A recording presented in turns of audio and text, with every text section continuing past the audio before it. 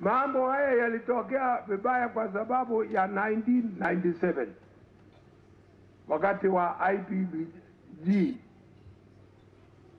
walikutana na wajumbe, pombe ifunguliwe kila mahali, Wakaku- waka- wakakubali. Wote, wote waliokuwa wa, wa serikali wa KANU, kila mtu, kwa sababu italeta popularity ati nitapenga. Utapendwa mtu wewe unaua watu kwa bombe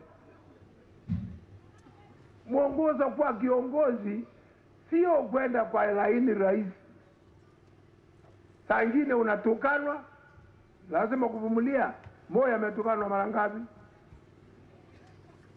Kama ningekuwa na roho kama ya panya, si ningalikuisha tupa nyinyi.